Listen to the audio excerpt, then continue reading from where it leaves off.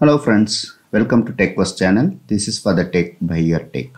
In this video, we are going to discuss about bacterial identification methods from the sample till the report. Accurate and definitive microorganism identifications and pathogen detection is essential for correct disease diagnosis, treatment and traceback of disease outbreaks associated with microbial infections. Sample collection.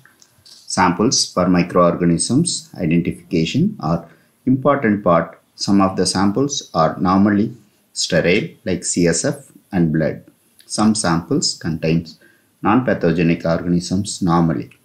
Infections of pathogens causes change in the commensals level and the quantity of pathogens are very low that makes difficulty in isolation and identification. Example, sputum and stool samples. Some of the samples are rich in bacterial nutrients, makes commensals grow faster than the pathogens. Delay in sample process make more difficulty to identify the pathogens. Direct smear. Smear from the sample makes it easy to know the type of bacteria present or absent to select the media for isolation like urine sample. Also grade the quality of sample collection. Example, sputum samples. Type of stains. Simple stains. Using a single stains that can identify the presence of bacteria and the shape of bacteria but cannot differentiate different types of bacteria. Example, methylene blue stain is used for identification of pneumococcal meningitis in CSF. The capsule can be identified in stat samples.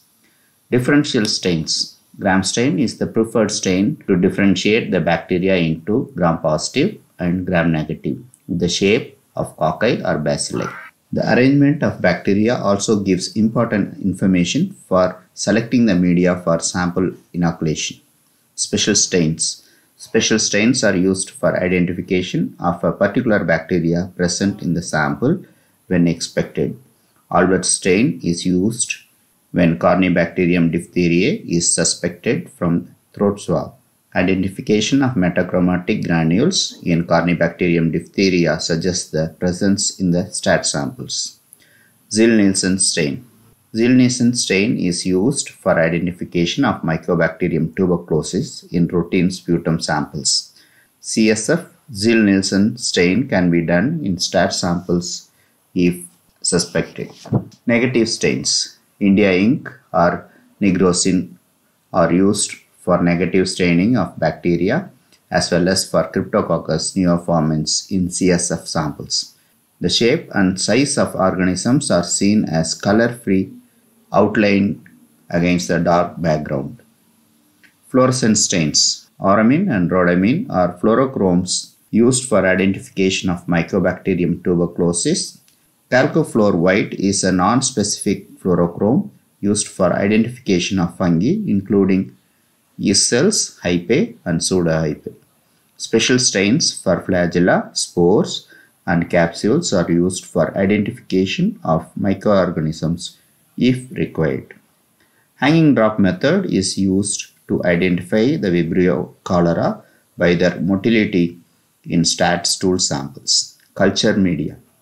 Growth media or the culture media is a solid, semi-solid or liquid that supports the growth of population of microorganisms. Simple media. Simple media are used for the growth of non-fastidious microorganisms. Example, peptone water, nutrient broth. Selective media are used for the growth of only selective organisms. These media are used to suppress the growth of commensals and allow the growth of pathogenic microorganisms of interest. Example, MacConkey agar is from gram-negative bacteria. Bile salts present in the media suppress the growth of gram-positive organisms. Differential media allows one microorganism's type from another growing on the same medium. Media uses the biochemical characteristics of microorganisms growing in the presence of nutrients or inhibitors.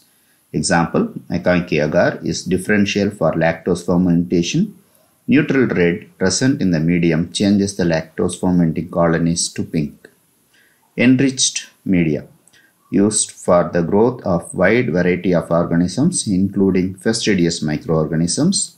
Example is blood agar is enriched with whole blood that allows most of the common organisms to grow. Enrichment media to favor the growth of a particular microorganisms over others, enriching a sample for a microorganisms of interest. Example, selenite broth is used to selectively isolate the Salmonella species. Biochemical test used for identification of microorganisms by the presence or absence of enzymes and other biochemical characteristics of specific for microorganisms. Example, oxidase, catalase, sugar fermentation test. Antibiotic sensitivity testing is the measurement of the susceptibility of bacteria to antibiotics. Sensitivity testing helps the clinician for choice of antibiotic for treatment. Methods Kirby-Bauer or Stokes methods are commonly used in the lab. Quantitative method using minimum inhibitory concentration to describe the concentration of antibiotic to which a bacteria is sensitive. Modern microbiology methods for identification. Molecular technique have proven beneficial in overcoming some limitations of traditional phenotype procedures for the detection and characterization of bacterial phenotypes. Real-time PCR and microarrays are currently the most commonly employed molecular techniques. Real-time PCR is a promising tool for distinguishing specific sequence from a complex mixture of DNA and therefore is useful method rapid detection of low amount of pathogens in the sample. Microarray technique can analyze the expressions of many genes in a single reaction quickly and in efficient manner. Thanks for watching. Watch my other videos. Please share, subscribe. Thank you.